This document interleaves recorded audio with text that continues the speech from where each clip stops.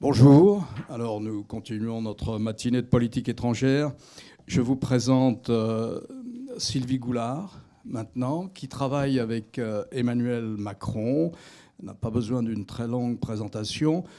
Tout son engagement dans la vie publique, toute sa carrière diplomatique, et puis sa carrière d'élu depuis 2009, mais pas d'élu de substitution, comme ça arrive trop souvent dans le groupe parlementaire européen français. Elle est élue européenne parce qu'elle croit dans l'Europe et elle travaille énormément au Parlement, dont elle est, je crois, encore la vice-présidente, ou une des vice-présidentes. Donc vous avez été en tout cas... Non, alors je me trompe. voilà. Et donc, euh, c'est un engagement euh, public français, mais euh, dans le projet européen et pour le projet européen. Alors, écoutez, on va commencer à non pas à s'éloigner de la politique étrangère, mais précisément à vous interroger d'abord un peu sur l'état de l'Europe, puisque après tout, ça fait partie aussi de la politique étrangère. Et euh, je vous donne comme ça trois, quatre thèmes de réflexion, un peu sous forme de questions. Le premier, c'est celui-là. Vous défendez, vous vous battez pour euh, le projet européen euh, à un moment où il est impopulaire en tout cas moins populaire qu'il ne devrait l'être, semble-t-il, compte tenu des succès invraisemblables au regard de l'histoire qu'a remporté euh, ce projet européen depuis 60 ans, puisqu'on célèbre aujourd'hui, je crois, le 60e anniversaire euh, du traité de Rome. Pourquoi cette relative impopularité? Je dis relative parce que ça dépend d'un pays à l'autre. Et en ce moment, on semble plutôt, selon les sondages, depuis le Brexit, être dans une phase où le projet européen regagne en popularité au sein de certains des pays euh, des 27. Mais enfin, quand même, on le sent en difficulté sur la zone euro. Qu'est-ce qu'il faut faire? Deux questions. Il faut sans doute ajouter un pilier budgétaire à la zone euro. On n'ose pas le faire ou on n'ose pas le dire, on n'ose pas l'institutionnaliser parce que ce n'est pas le moment de se lancer dans des traités. Ce n'est peut-être pas le moment non plus de créer un ministre du budget dans la mesure où il semble que les opinions publiques en Europe euh, ne sont pas prêts à une délégation de souveraineté supplémentaire aussi affichée. Qu'est-ce qu'il faut faire de la Grèce que nous traînons, enfin surtout les Grecs, pour eux, comme un malheur permanent euh, est-ce qu'il ne faut pas être euh, taillé dans le vif et, je veux dire par là, reconnaître qu'ils ne payeront jamais leurs dettes on a restructuré 75% de la partie privée de cette dette.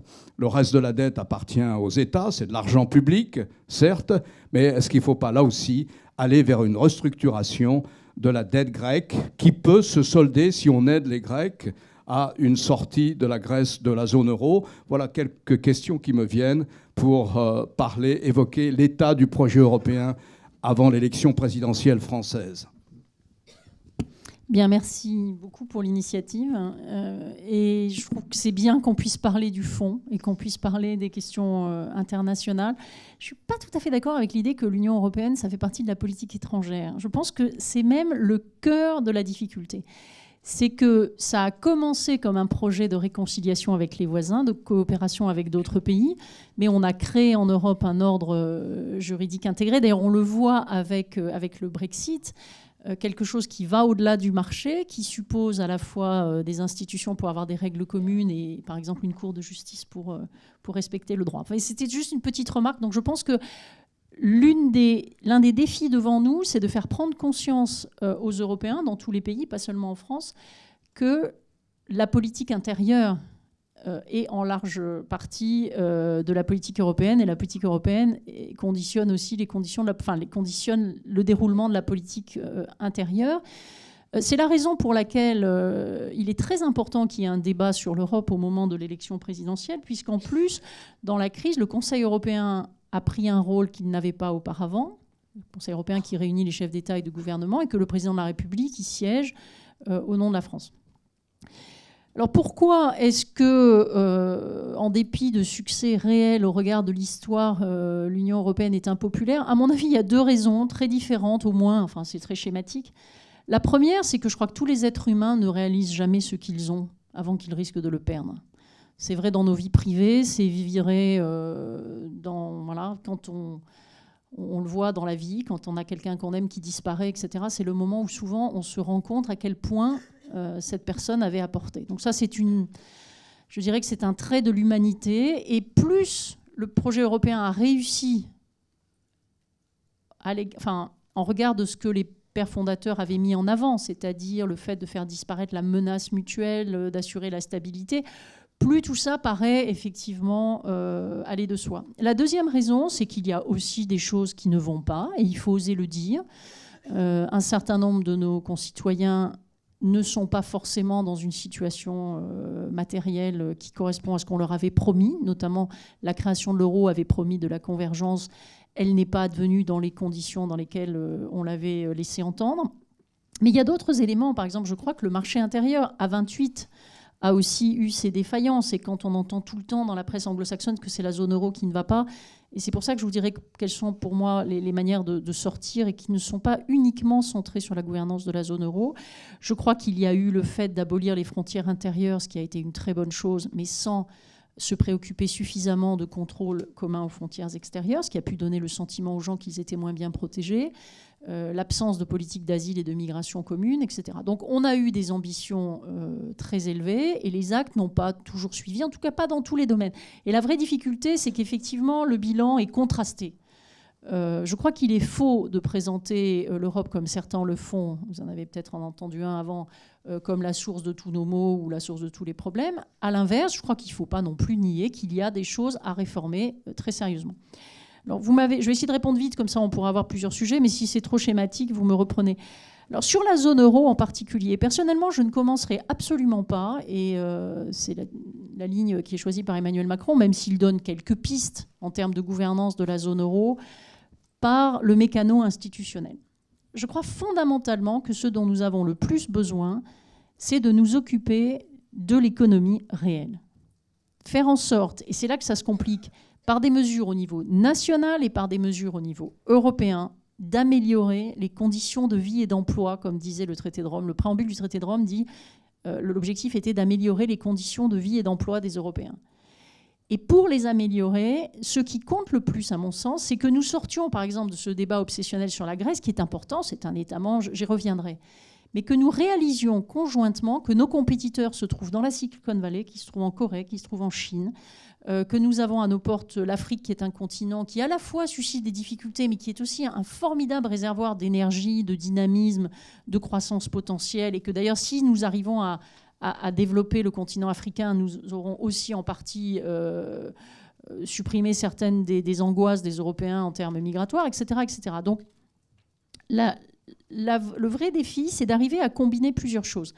Premièrement, pour un pays comme la France, on est avant la, présidentielle française, euh, arriver à améliorer ses performances économiques intérieures par un certain nombre de réformes qui remettent qui redonne au modèle social sa véritable dimension qui est d'être social et de ne pas laisser autant de gens sur le bord de la route, puisqu'en France, on a quand même énormément de chômeurs, énormément de jeunes non formés, etc. Donc vous avez un bloc, et c'est pour ça qu'Emmanuel Macron soutient le fait de ne pas euh, demander des exceptions euh, aux engagements européens. Ce n'est pas par soumission à Bruxelles, c'est par conviction.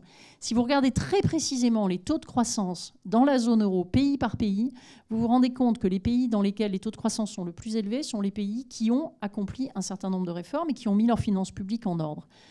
En France, on a un niveau de dépenses publiques de 56% du PIB. Euh, ça n'est pas un niveau de finances publiques d'austérité. On est 8 à 9 points au-dessus de la moyenne euh, européenne. Donc je crois qu'il faut, encore une fois, premier acte, prendre les mesures nécessaires avec le rythme qu'il faut, c'est-à-dire pas casser la croissance, mais sérieusement accompagner ce pays à nouveau sur la voie d'une libération de la croissance et d'une bonne gestion des finances publiques qui sont la condition de la croissance. Mais au-delà de ce programme de, politique économique, il y a la volonté de faire plus d'intégration. Oui, alors, si je puis... oui mais alors justement, ensuite, si vous faites votre boulot au niveau national, vous pouvez demander à vos partenaires de participer à des efforts de solidarité. Euh, il y a des actes à accomplir au niveau national, des actes à accomplir au niveau européen.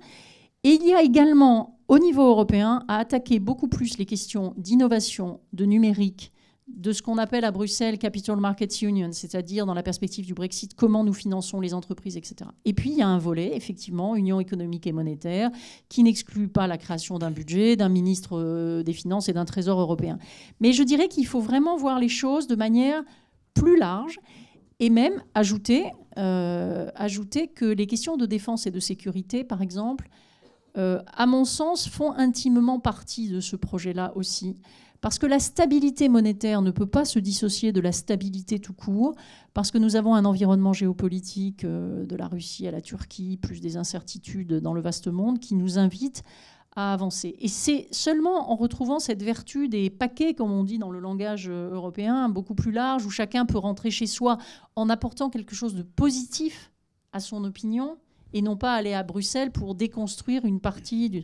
Bon, j'arrête là si vous voulez, mais je peux revenir sur la Grèce après je, reviens un peu sur cette question de la, popularité ou non de, l'Union européenne. Ici, en France, par exemple. Comment expliquez-vous, par exemple, l'invraisemblable perméabilité de ce qu'on entend sur l'euro? L'euro nous a préservé de drames financiers en 2008, 2009 euh, euh, et 2010 et même euh, avant. Euh, l'euro nous interdit de revenir à une Europe de dévaluation compétitive où les Espagnols et les Italiens dévalueraient encore plus que nous si jamais nous, nous le faisions, etc. L'euro est présenté comme le paramètre, un des paramètres d'explication du chômage, alors que dans la zone euro, on peut citer 4, 5, 6 pays qui ont un taux de chômage autour de 5%. Donc je ne vois pas en quoi l'euro peut être responsable ou l'exclusif responsable du taux de chômage en France, d'autant qu'on doit avoir un taux de chômage structurel en mettant toute l'affaire monétaire de côté de l'ordre de 5 à 6% pourquoi cette perméabilité d'extraordinaires illusions, fantasmes, disons le mot mensonge sur la réalité de la monnaie unique je rappelle au passage que le taux de croissance de la zone euro en 2016 est celui de la Grande-Bretagne, par exemple, 1,8, le taux de croissance moyen. Pourquoi cette perméabilité euh, de fantasmes ou d'illusions, de bobards et de calembredaines sur la réalité de l'union monétaire? Écoutez, je ne me l'explique pas vraiment, si ce n'est qu'on a peut-être failli dans l'explication, mais il y a objectivement un manque de référence aux chiffres et aux faits. Vous venez de le faire, c'est-à-dire que et c'est pour ça que j'ai dit tout à l'heure qu'il faut arrêter d'accabler la zone euro. Il y a par exemple des problèmes liés au marché à 28 qui euh, ne se sont pas autant soulignés que les problèmes de la zone euro. Euh, je crois premièrement que vous ne faites jamais, euh, vous ne gagnez pas une élection, vous ne gagnez pas le cœur des gens par les accidents qui ont été évités. Par définition, quand les gens n'ont pas un accident sur l'autoroute, quand ils arrivent à bon port, ils se réjouissent pas autant qu'ils le devraient. Par contre, la famille qui est endeuillée parce que la voiture n'est pas arrivée, donc il est vrai que dans la crise, l'euro nous a protégés. Et d'ailleurs, je dirais même que l'euro a rempli son contrat, le contrat de sa création, c'est-à-dire d'une part de nous protéger les uns des autres, de protéger le commerce intra-européen contre la tentation des dévaluations, et il a assis un poids de l'Europe dans le monde qui euh, fait que l'euro, par exemple, est une monnaie de réserve, contrairement à ce que disent certains, euh, à hauteur de 20% dans les banques centrales. La deuxième ou la troisième monnaie de réserve Mais c'est en peu de temps, parce que l'euro est une monnaie très jeune. Hein. Je vous rappelle que l'introduction des, pièces, c'était le 1er janvier 2002. Donc, on est dans une situation difficile parce que... Euh, le fait que certains, et ça moi ça me frappe parce que je, m'exprime beaucoup en Allemagne, en Italie, en dehors des frontières françaises, les Français projettent sur l'Europe et sur l'euro des difficultés qui peuvent être liées à des choix nationaux. Par exemple, si l'école, et l'OCDE malheureusement l'a montré, l'école française est inégalitaire et forme mal les enfants, c'est un problème national, c'est une compétence nationale. Si la formation professionnelle ne forme pas bien les jeunes, contrairement à l'Autriche ou l'Allemagne, pays dans lesquels euh, les jeunes sont quasiment au plein emploi, euh, c'est en raison de difficultés de la formation professionnelle, qui pourtant nous coûte 32 milliards. Euh, si le logement, par exemple, est un facteur qui pèse sur la vie des ménages parce que les gens avec des salaires bas n'arrivent plus à se loger, c'est aussi une faillite locale et nationale française. Donc c'est très facile pour des personnes qui veulent abuser les électeurs de prendre ces éléments et de l'attribuer à l'échelon de décision qui est le plus lointain euh, et qui par définition leur est étranger, en utilisant en plus un certain nombre de fantasmes sur l'Europe du Nord, l'Allemagne. Et je trouve très triste et je suis parfois très gênée, y compris vis-à-vis des pays du Sud maintenant, parce que notre pays, non seulement n'a pas entièrement rempli ses engagements par rapport à l'Europe du Nord, mais quand on voit les efforts qui ont été faits par des pays comme la Grèce, l'Espagne, le Portugal, euh, ou même l'Irlande, qui n'est pas du Sud, mais et qui ont eux traversé des réformes euh, douloureuses et qui d'ailleurs vont beaucoup mieux sur le plan économique, ce qui ne veut pas dire qu'il n'y a pas des personnes qui ont souffert dans ces pays-là. Je, ne rosis pas le tableau. Je suis un peu gênée de voir qu'en France, euh, certains utilisent des mots pour une réalité qui n'existe pas. Donc, effectivement, on a tous un travail de, pédagogie à faire. Et sur la Grèce, pour revenir, parce que je ne voudrais pas ne pas avoir répondu à cette question, vous avez bien dit qu'on a considérablement réduit la dette privée. Pourquoi il y a ce blocage sur la dette publique? C'est parce que vous pouvez avoir une approche juridique ou une approche économique de la crise de l'euro. Dans un certain nombre de pays du nord de l'Europe, il y a une approche qui est très juridique. Or, le sauvetage d'un pays n'était pas prévu, il est même interdit. C'est-à-dire le fait de remettre les dettes, le fait de financer euh, les budgets publics n'était pas prévu par les traités. Ce que je tiens à dire, c'est que on peut le regretter ou pas, mais pour que le système tienne, il est basé sur la confiance. Il faut bien que tout le monde s'y retrouve. En plus, nous avons, euh, personnellement, j'étais pas favorable, mais nous avons fait venir le FMI. Et en faisant venir, notamment le gouvernement allemand avait beaucoup insisté pour que le FMI soit parmi euh, les institutions qui ont euh, piloté les programmes. D'un côté, c'était fondé, puisque nous avons de l'argent au FMI, nous tous les pays européens, et il y a un savoir-faire que nous n'avions pas. Mais d'un autre côté, le FMI demande toujours de la remise de dette, alors que nous savions aussi que la remise de dette ne serait pas facile dans le système européen. Donc c'est comme ça que nous nous sommes piégés, euh, de manière qui est dramatique. Je tiens quand même à dire que la situation de la Grèce est ce qu'elle est, non seulement peut-être en raison des erreurs de pilotage dans la crise, il ne faut pas le nier, mais surtout en raison d'erreurs de gestion du pays entre le moment de l'introduction de l'euro et la crise financière. Et que quand vous aviez des salaires qui s'étaient complètement détachés de la productivité, par exemple, euh, ça avait créé les, conditions d'une crise potentielle, sans que nous ayons les instruments euh, pour régler cette crise. Voilà. Donc la Grèce, il est important qu'elle reste dans la zone euro, c'est un des États membres. Beaucoup d'efforts ont été faits par le peuple grec d'abord, mais aussi par les partenaires. Je crois que maintenant, sincèrement, euh, M. Tsakalatos et, le nouveau gouvernement grec, euh, dans sa nouvelle configuration d'après le référendum, sont attachés à tout ça, à, ces progrès et à faire en sorte que la Grèce euh, avance. La Grèce dégage un excédent primaire énorme dont je serais heureuse que la France ait fourni une partie de l'effort qui l'a permis. Donc encore une fois, n'accablons pas la Grèce et regardons peut-être les problèmes que nous avons chez nous aussi. On, va passer à des questions plus franchement de, politique étrangère. En fait, bizarrement, depuis ce matin, on a assez peu parlé de, des États-Unis et de Donald Trump. Alors on, va le faire maintenant.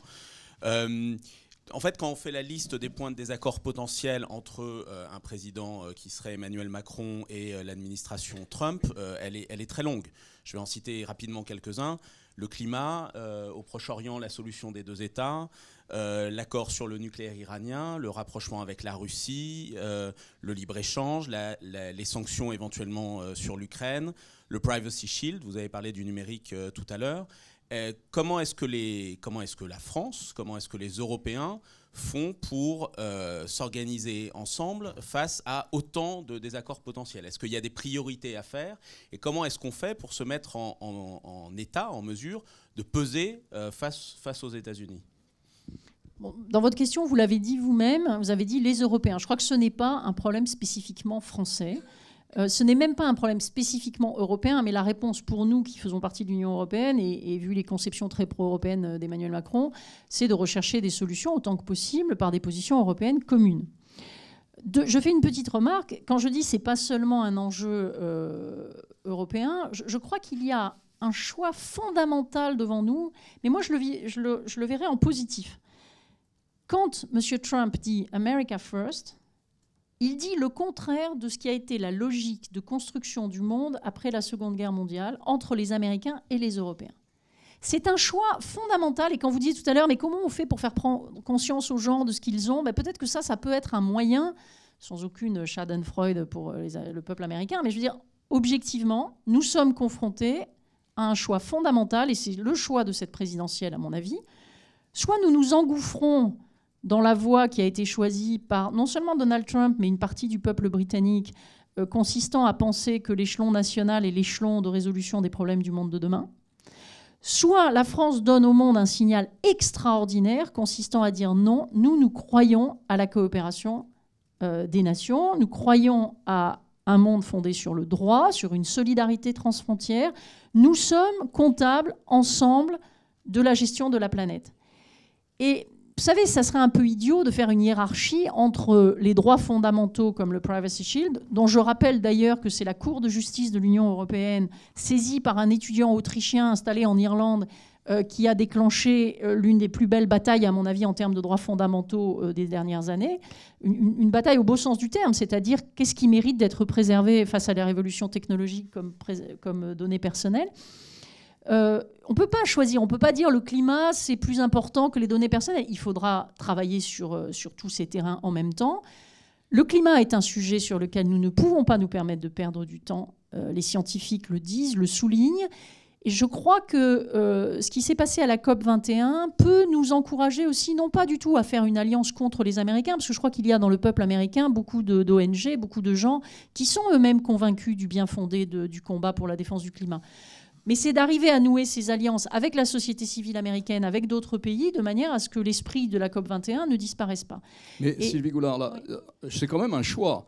Est-ce que euh, la France, euh, qui a accueilli la conférence de Paris, et les autres Européens peuvent dire, bon, les États-Unis, sans rompre formellement avec l'accord de Paris, mais vont le vider de sa substance, le détricoter, et notamment quand on voit le projet de budget américain, c'est très clair. Il a été soumis il y a un mois par l'administration. Il n'est pas encore examiné par le Congrès. C'est notamment c'est la baisse considérable de l'aide euh, de l'assistance américaine à, l'extérieur, aux grands pays du Sud. Dans ce cadre-là, on voit mal les Américains verser la cote-part à laquelle ils se sont engagés, engagement volontaire certes, à, l'adresse des pays du Sud pour les aider à lutter contre le réchauffement climatique. Alors nous, qu'est-ce qu'on dit? Eh bien nous, on dit, on va le faire quand même, on va appliquer la clause de Paris, nous tout seuls, les Européens, quitte à compenser ce que les États-Unis ne paieront pas, ou nous avec les Chinois. Là, il y a un choix politique à faire. Même chose, je poserai la même question les Américains décident peut-être de détricoter, là encore sans le dire, l'accord sur le nucléaire iranien, c'est-à-dire avec des sanctions, en, adoptant d'autres sanctions à l'égard des compagnies, peut-être même des compagnies européennes qui commerceraient avec l'Iran. Alors là aussi, il y a un choix politique. Eh bien, nous, on dit non. Nous, on est liés par cet accord, d'ailleurs, qui lie l'ensemble de la communauté internationale, puisque c'est un accord Conseil de sécurité des Nations Unies, et nous l'appliquerons.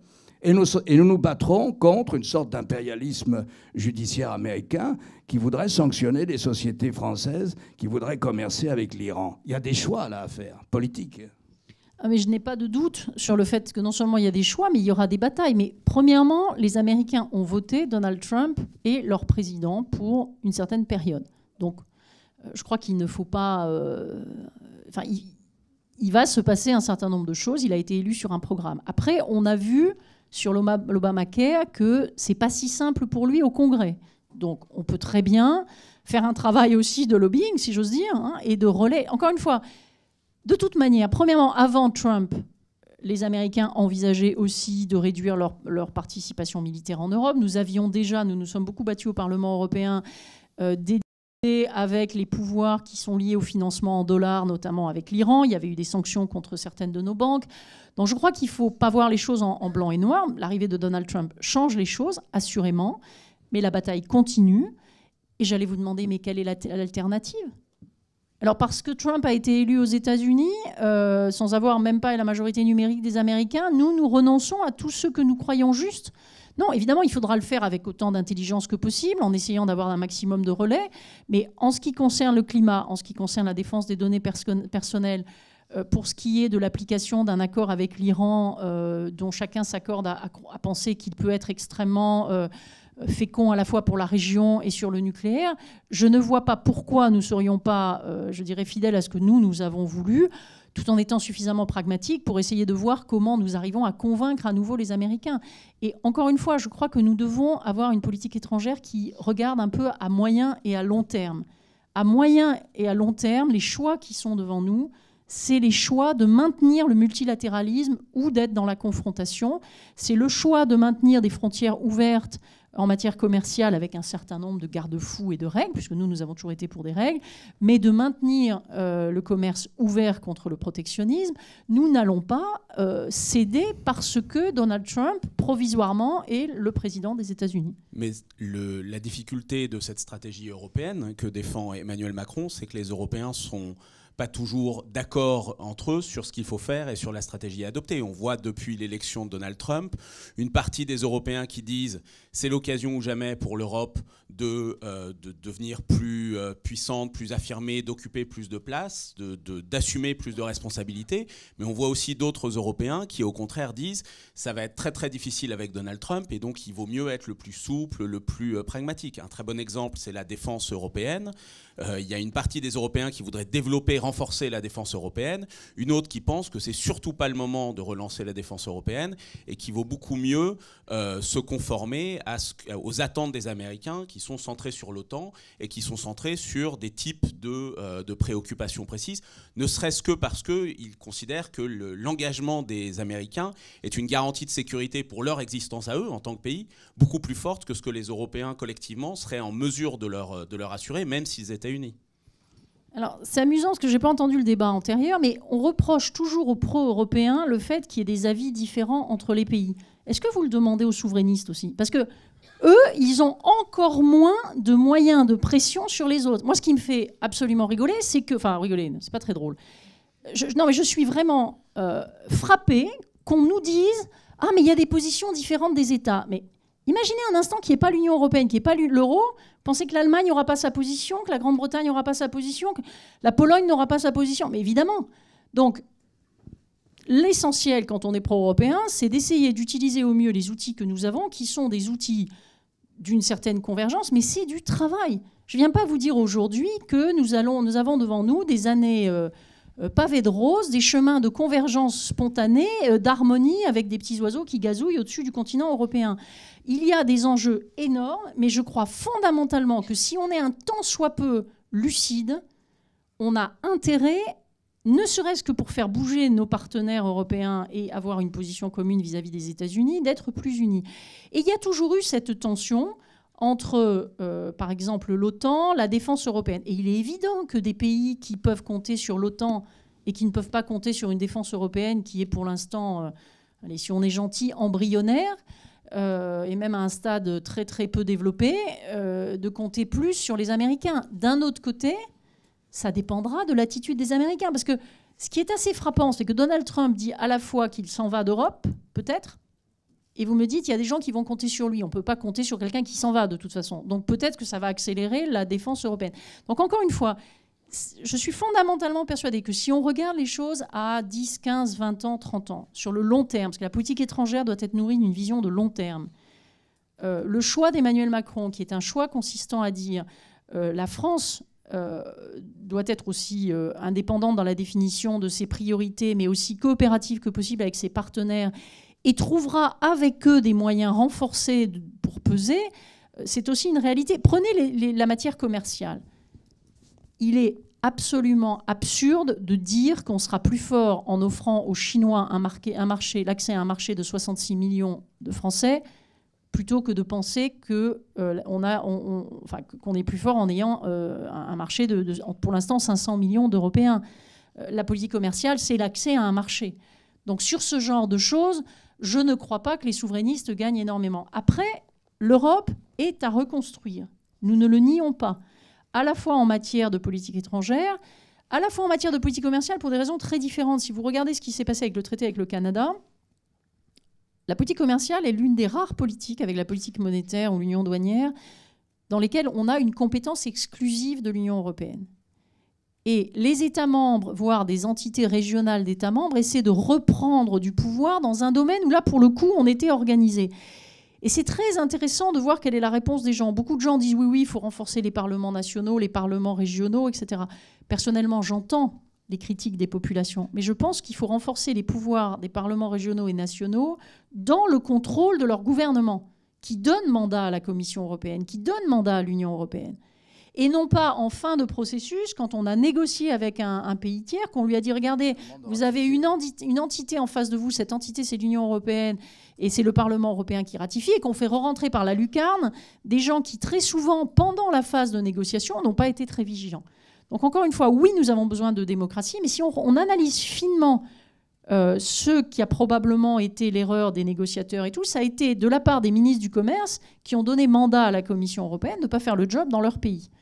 Et on voit bien que d'ailleurs dans des pays, dans un pays comme l'Allemagne, on voit le rôle que le SPD a joué en interne pour faire en sorte que le CETA soit approuvé par la gauche, travail qui n'a pas été fait en France. Deux petites questions, puisqu'on a abordé euh, la, défense un peu rapidement. Euh, je crois que la France consacre à peu près 1,8% de son budget euh, à la défense nationale. Trump euh, qui est totalement revenu sur la manière dont il avait qualifié l'OTAN. Maintenant, ils aiment l'OTAN, il aime l'OTAN maintenant, à condition que les membres de l'OTAN euh, alignent leur budget sur ce pourcentage de 2%. Est-ce que c'est aussi l'opinion d'Emmanuel Macron? Il faudrait aller vers cet objectif de 2%, par exemple. Et ma deuxième question porte sur... Euh, la pertinence ou non de la dissuasion nucléaire française aujourd'hui. Est-ce que le président euh, Macron serait aussi euh, un homme qui adapterait et moderniserait la force nucléaire française?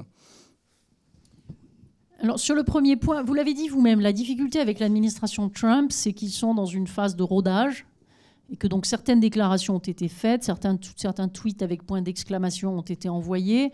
Euh, après, quelle sera effectivement la position durable de l'administration américaine Je suis prudente parce que personnellement, je ne la connais pas. Euh, je me rappelle, sauf erreur de ma part, que euh, Obama à Hanovre l'année dernière avait déjà passé le message que les Européens doivent plus se prendre en main sur le plan de la défense. La France est un pays qui n'est pas très loin des 2%, même si la différence peut être significative. Euh, L'Allemagne est en train euh, de revoir son positionnement en matière de défense et d'accepter également d'augmenter ses budgets. Je crois que ce sont des signaux qui sont euh, plutôt, plutôt favorables.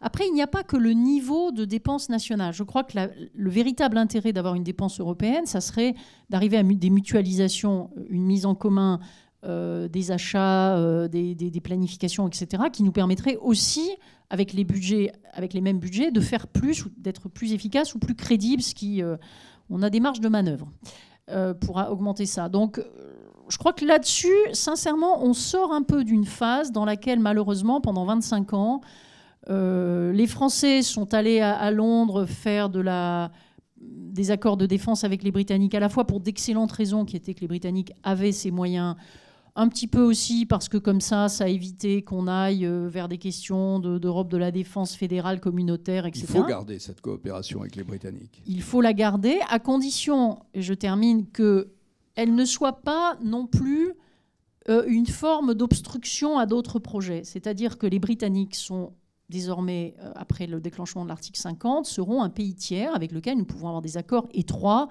et je le souhaite tout à fait pour des raisons de capacité, de, tradition. Mais il faut bien voir une chose, c'est que pendant longtemps, euh, ce jeu avec les Britanniques et avec d'autres États membres d'ailleurs a permis aussi de freiner la politique européenne de défense. Et il va falloir quand même se poser la question de savoir si notre ambition euh, est tout en respectant euh, l'Alliance Atlantique et le fait que la France y a d'ailleurs été un partenaire beaucoup plus actif que d'autres en dépit de son côté enfant terrible, euh, est-ce qu'on va, arriver à développer des capacités de défense? Je rappellerai une chose simple, que beaucoup de Français n'ont pas à l'esprit. Sont entrés dans la zone euro, au plus fort de la crise d'ailleurs, et c'est leur mérite, les trois pays baltes. C'est-à-dire que c'est la raison pour laquelle je pense qu'il y a désormais un retour à la conception politique de l'Europe qui était celle de ses créateurs. C'est qu'il pourrait arriver qu'un des pays membres de l'euro subisse des attaques. C'est quelque chose de très différent, à mon sens, d'une situation dans laquelle il y avait une sorte de cœur économique et puis des petites coopérations. En tout cas, quand je discute avec mes collègues baltes, finlandais, dans toute cette zone-là, il y a une certaine, euh, je dirais, inquiétude, sans paranoïa, sur ce qui pourrait se passer, qui nous invite à être extrêmement sérieux sur ces sujets. On a trop parlé de défense et on n'a pas assez fait. Manuel, justement, il est temps peut-être de parler de, après Trump, de Poutine. Alors, sur, sur Poutine, euh, le, sujet le plus euh, fréquemment évoqué dans la campagne, notamment parce qu'il y a des positions euh, très contrastées, c'est les sanctions sur l'Ukraine. Emmanuel Macron, même quand il était ministre, a régulièrement expliqué qu'il était en faveur de la levée des sanctions et précisait quand on lui posait la question que bien sûr c'était dans, dans, le cadre de, de, la mise en œuvre de l'accord de Minsk, mais aujourd'hui euh, l'accord de Minsk sur l'Ukraine euh, a du mal à avancer et on entend dans le courant de la campagne les propos continuer sur cette idée de désescalade des sanctions. La situation en Ukraine, c'est pas juste une escalade de sanctions, c'est aussi beaucoup l'escalade sur le terrain et la situation sur le terrain qu'est-ce que l'Europe peut faire? L'Europe a un rôle clé puisque ce sont les Français et les Allemands qui sont euh, les parrains du processus de Minsk. Euh, comment est-ce que le, président euh, Macron gérerait cette situation avec la Russie, dont on sait très bien que, au-delà de l'Ukraine, il y a évidemment plein de sujets sur justement la relation avec les États-Unis, la solidarité avec d'autres pays européens qui peuvent être inquiets, qui sont inquiets de l'attitude de la Russie, etc., etc.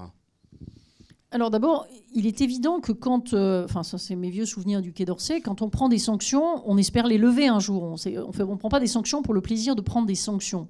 Euh, les sanctions, elles ont pour objectif de, faire évoluer l'opinion publique d'un pays, etc. Bon, donc euh, la, chose importante, c'est de savoir si un jour les conditions sont réunies pour lever les sanctions selon des procédures qui sont des procédures européennes. Les sanctions ont été prises par les Européens, elles devront être levées par les Européens.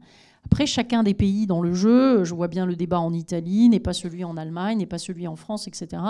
La question se posera d'avoir une analyse collective. La position, c'est qu'il n'y a aucun acharnement contre le peuple russe. Il y a la volonté euh, qui a été euh, indiqué euh, de faire pression sur des autorités qui se sont comportées d'une certaine manière. J'attire l'attention sur le fait quand certains sont reçus par Poutine ou considèrent la Russie comme un pays totalement un partenaire entre guillemets comme un autre que nous nous trouvons dans une situation où depuis la Seconde Guerre mondiale en Europe, il n'y avait pas eu de changement de frontières par la force la Russie fait partie de l'OSCE. Euh, je me souviens très bien lors de l'unification de la. Le contre-argument, généralement, c'est le Kosovo. Oui, mais le Kosovo, c'était une situation légèrement différente dans la mesure. D'abord, premièrement, je vais vous dire, le fait qu'il y ait eu d'autres actions euh, qui étaient légales ou illégales, je pense que la situation était très différente, ne signifie pas que vous pouvez de toute façon envahir votre voisin en disant ah ben, il y a eu un autre truc avant. Hein, euh, Nemo auditur, propriété c'est turpitudinem proprio allegans, comme on dit en latin. C'est-à-dire, vous ne pouvez pas invoquer des, turpitudes pour dire on, continue. Non, je crois que là, il y a un phénomène. en Europe, depuis la Seconde Guerre mondiale, nous avons un, principe qui est que les frontières peuvent changer. Il y a eu d'ailleurs hein, la séparation de la Tchécoslovaquie, il y a eu des choses qui sont advenues, mais selon des processus pacifiques et démocratiques. Donc la défense du droit international fait partie des missions de tous les membres du Conseil de sécurité des Nations Unies, même tous les membres des Nations Unies ayant adhéré à la charte. Donc ce qui s'est passé avec le processus de Minsk, c'est la tentative de trouver une solution. Pour l'instant, on n'y est pas tout à fait, mais il n'est pas question d'en sortir sans une décision européenne conjointe. Et je crois qu'il y a aussi une vertu d'exemplarité. On ne peut pas se plaindre tout le temps, tout le temps, que les Européens soient divisés et ne pas prôner euh, des procédures d'union. C'est ce qu'a dit aussi Emmanuel Macron face à Erdogan pour ce qui était de l'attitude d'Erdogan vis-à-vis des Pays-Bas ou vis-à-vis de l'Allemagne. Ce sont des sujets sur lesquels, euh, si on se dit pro-européen, il faut l'être en acte et sur lesquels nous souhaitons qu'il y ait des positions communes qui soient arrêtées. Ce qui ne signifie pas que la France ne poussera pas pour ses idées à l'intérieur du système. Mais ce qui veut dire que si Emmanuel Macron était président, la France pourrait accepter, dès lors qu'il y aurait un accord européen, une levée des sanctions contre la Russie sans la mise en œuvre euh, de l'accord de Minsk Je ne crois pas que ce soit ce que j'ai dit. Très clairement, ce n'est pas ce que j'ai dit. Au-delà, au-delà de la mise en œuvre de l'accord de Minsk, euh, ce, que Emmanuel, ce à quoi Emmanuel Macron aspire, et là aussi on peut euh, comprendre pourquoi, après tout c'est, l'objectif à long terme, c'est la normalisation des relations. Mais au-delà du long terme, qu'est-ce, qu'est-ce que ça veut dire normalisation? Comment on normalise des relations avec la Russie aujourd'hui?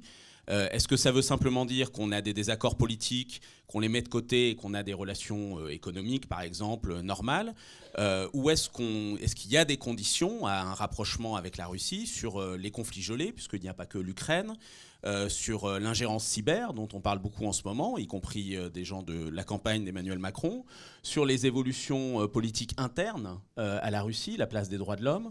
Qu'est-ce -ce que ça pourrait être l'objectif d'une normalisation de la relation avec la Russie?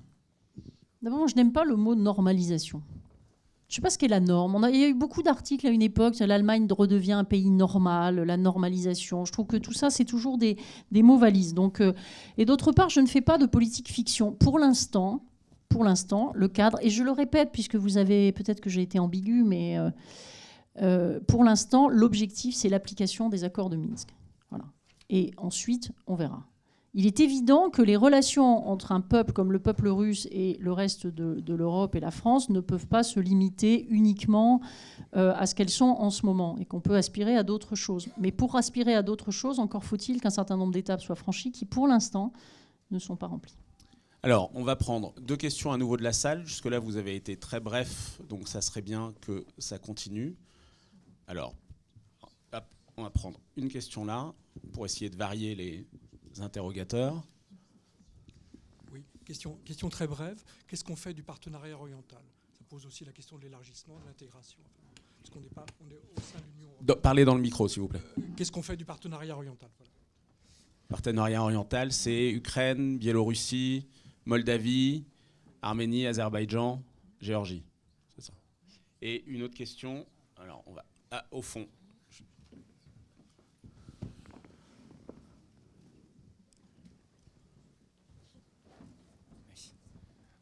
Bonjour madame, euh, Epoch Times, journal siégé à New York. Euh, J'aurais une, question sur la Chine. Euh, les droits de l'homme, c'est une des nos valeurs fondamentales qui est très liée donc à nos intérêts généraux. Et vous avez travaillé beaucoup avec le Parlement européen, qui est assez actif dans la défense des droits de l'homme. dans ma question précisément sur la Chine alors qu'il paraît que ce n'est pas le cas, euh, vraiment le cas des gouvernements français hein, depuis des années. Par exemple, il, euh, n'y a pas de critique euh, publique sur la violation des droits de l'homme en Chine. Et je voudrais savoir, est-ce que une fois M. Macron élu au président de la République, est-ce qu'il changera cette situation? Merci. Deux questions très faciles, évidemment. Alors sur le, sur le partenariat oriental, euh, moi je me souviens de l'époque où euh, je travaillais avec Romano Prodi à la Commission européenne et où euh, l'idée était d'avoir un cercle d'amis autour de l'Union. Si on regarde l'état du voisinage, on se rend compte qu'on n'a peut-être pas tout à fait atteint l'objectif. Donc ça rend très modeste. Ce que je crois fondamentalement, c'est qu'une logique est arrivée à son terme, qui était la logique consistant à considérer que le principal outil à notre disposition vis-à-vis de notre entourage était d'offrir l'adhésion. D'une certaine manière, ça a quand même bien marché. Je tiens à dire personnellement que je trouve euh, euh, l'effort qui a été fait par les pays d'Europe centrale et orientale, par les pays du Sud d'ailleurs auparavant, mais euh, après la chute du communisme, malgré tous les ratés ou toutes les difficultés qu'on peut avoir, c'est toujours l'histoire du pourquoi les gens ne voient pas ce qui aurait pu se passer, mais par exemple les conflits de minorités, enfin voilà. Donc je ne dis pas que l'outil n'a pas été utile, je dis simplement qu'à mon sens, à un moment donné, on arrive à la limite de cet outil. Donc il est évident qu'on doit avoir avec les pays qui sont euh, très proches de l'Union européenne, mais un peu plus éloignés et n'ayant pas forcément vocation à y entrer, des relations plus, euh, fructueuses. Je crois qu'en ce moment, quand on regarde les opinions, quand on regarde les priorités, euh, il ne faut pas faire trop de promesses. Je souhaite qu'on continue à travailler avec ces pays, qu'on ait des coopérations extrêmement concrètes qui peuvent être euh, dans des domaines comme faciliter euh, la venue de, jeunes étudiants, faciliter des coopérations de recherche. Mais je ne crois pas qu'il y ait immédiatement euh, à portée de main des solutions extrêmement politiques. Ça peut changer. Ça peut changer notamment si nous arrivons à redonner une dynamique à l'Union européenne. Mais pour l'instant, j'attire votre attention sur le fait que le Parlement européen a même voté le gel je dirais, ça aussi, ça rend modeste, ça n'a pas été énormément remarqué. Le Parlement européen a voté le gel des négociations d'adhésion avec la Turquie également. Euh, donc, en ce moment, je crois que vu l'état des opinions, euh, vu l'urgence d'un certain nombre de problèmes à régler, nous devons continuer à travailler sur ces, sur ces pays et avec eux, euh, à offrir des perspectives aussi concrètes que possible. Mais je ne crois pas que le temps d'un grand dessin soit, soit venu. Sur la Chine, c'est difficile de traiter la question euh, très rapidement parce que vous, mettez le doigt sur, euh, sur une des contradictions euh, probables de, de, l'attitude des Occidentaux. je dirais que ça ne concerne pas que l'Europe. Quand vous voyez des moteurs de recherche américains qui ont accepté de se fermer sur le territoire chinois ou des choses comme ça, je crois qu'on a tous, toutes les, démocraties libérales occidentales, à, se poser un certain nombre de questions sur la manière dont nous pouvons aider les Chinois à, aller vers plus de liberté. Il est clair que dans les 25-30 dernières années, on a pensé que, après la chute du mur de Berlin notamment, que le libéralisme économique, que l'ouverture d'une économie euh, allait entraîner euh, ipso facto une ouverture euh, en termes de droits de l'homme, de liberté fondamentale, etc. Ce n'est pas tout à fait le cas. Pour ma part, j'essaierai, je ne sais pas ce que, ce que répondrait Emmanuel Macron, mais je pense qu'il faut que nous essayions de rester fidèles à nos valeurs, tout en n'étant pas non plus complètement à promettre des choses qui résisteront pas au premier, euh, bras de fer économique ou commercial. Je crois qu'il y a à réinventer, je l'ai dit tout à l'heure, à, se reposer la question du type de relation que nous voulons avec l'ensemble des partenaires mondiaux. Euh, et de placer le multilatéralisme, le respect du droit, la volonté de coopérer avant euh, des confrontations. C'est pourquoi il peut être parfois utile de dénoncer euh, des violations de droits de l'homme, et je pense que quand c'est nécessaire, il ne faut pas hésiter à le faire, mais qu'il faut aussi trouver les moyens de convaincre et de ne pas passer pour ceux qui viennent donner des leçons euh, à des pays tiers, ce qui a parfois pour effet de rassembler autour des autorités autoritaires, enfin si j'ose dire, des, des gouvernements autoritaires, y compris des gens dans le pays qui auraient pu être plus sensibles aux arguments. On l'a vu dans énormément de pays. Euh, il ne faut pas que l'ingérence extérieure aboutisse au résultat contraire de celui qu'on recherche. Donc c'est pour ça que ce sont des sujets difficiles sur lesquels je n'ai pas une réponse euh, en blanc et noir à vous faire. Euh, attachement aux droits de l'homme, oui. Attachement à l'état de droit, oui. Et c'est la raison pour laquelle aussi nous devons défendre l'Union européenne, nous devons défendre la Convention européenne des droits de l'homme, nous devons défendre ce que nous avons construit aux Nations unies en termes d'universalité des droits de l'homme. Mais il faut le faire avec suffisamment de doigté pour ne pas paraître comme les donneurs de leçons occidentaux euh, qui parfois produisent le résultat inverse de celui qu'ils cherchaient. Merci beaucoup. On va faire maintenant une pause d'un quart d'heure et on reprend donc à 11h30 précise pour garder les horaires. Merci.